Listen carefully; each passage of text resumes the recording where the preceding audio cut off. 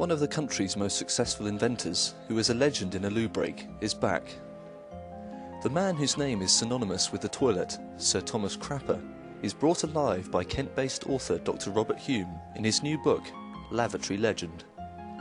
To celebrate the 100 year anniversary of his death, Hume looks at how Crapper rose from a poor background to become one of the most successful businessmen in the whole of the British Empire, even installing flush toilets for the royal family. If you think of all the changes which have happened, even in my lifetime, um, you know, toilets in in aeroplanes, uh, the Superloo, which opened at Leicester Square uh, when I was, uh, you know, at school. Um, huge changes. Um, the mind boggles. Uh, I'm sure Thomas Crapper, if it had still been around today, would be at the uh, forefront of the market. Um, there he was you know, uh, striving for further improvements, perhaps running showrooms or developing the toilet in, in ways that hadn't been dreamt of before. As head of history at Clarendon House Grammar in Ramsgate, Dr. Hume has been spreading his enthusiasm to his students by helping them construct a giant toilet made out of wood and paper mache.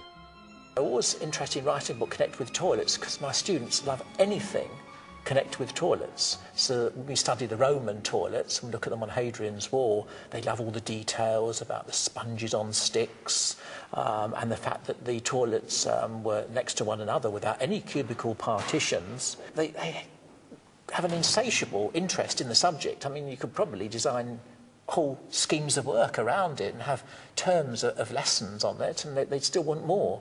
Um, he died in Anerley in Kent, and um, it was 100 years since he died in 1910. If it wasn't for him, then we'd still have leaky toilets and have to go outside for, to go to the toilet. Dr. Hume enlisted the help of some fellow academics in constructing the model lavatory. Well, um, Rob emailed me in the uh, summer holiday and he said, could I get involved in the project to make a, a toilet, a large, very large toilet to commemorate uh, the death of Thomas Crapper. And uh, first of all, I told him I thought he was potty. Um, then I came, came up with a number of designs and I didn't think very many of them would work, so they were down the pan. Well, I think it's very important that um, girls understand, girls in particular, of course, understand how things are made and how easy it is to make things.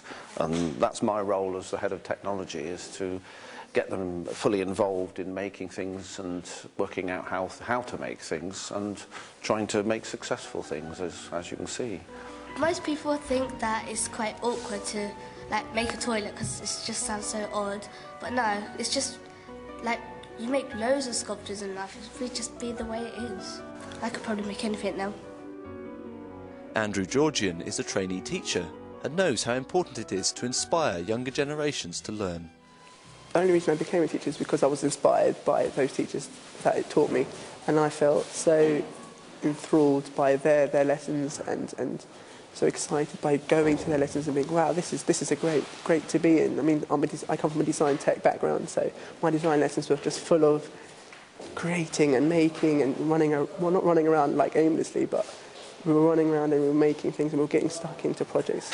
If, if the resources are there for you um, and the teachers are willing and enthusiastic for their subject, then they can inspire any student. When we first started, I thought, oh yeah, um, we're just making a like just a normal toilet. But then when Dr. Hume actually explained like the whole concept to us, and it was actually like really fun and like to see how it changed. And it was really like interesting to see it.